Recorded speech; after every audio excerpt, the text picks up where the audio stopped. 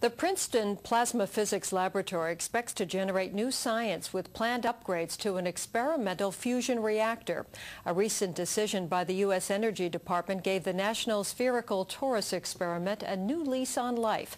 Science and technology correspondent Patrick Regan reports. Fusion reactors are extreme machines designed to join atomic nuclei together, producing energy much the way stars do. The charged gas or plasma in which the fusion reaction takes place at temperatures hotter than the center of the sun is confined by powerful magnets. This lab was home to the biggest magnetic confinement reactor in the U.S., the Tokamak Fusion Test Reactor, or TFTR a smaller reactor called NSTX, the National Spherical Torus Experiment, came online in 1999 to test ideas aimed at making fusion power practical and economical someday.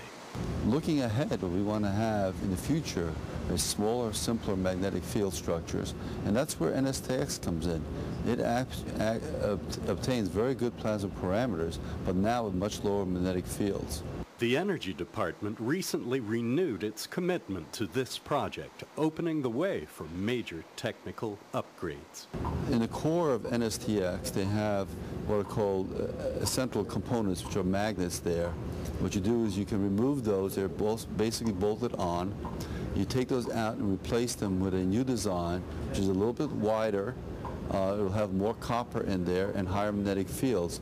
By increasing the magnetic field, we'll be able to make hotter plasmas with much higher pressures and study the physics of that.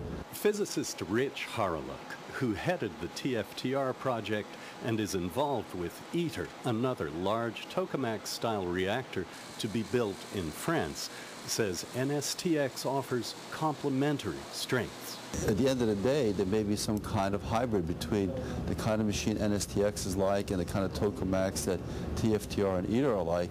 But that's what we're trying to understand, the underlying science, so we can eventually use that to optimize the fusion process. Patrick Regan, NJN News, Plainsboro.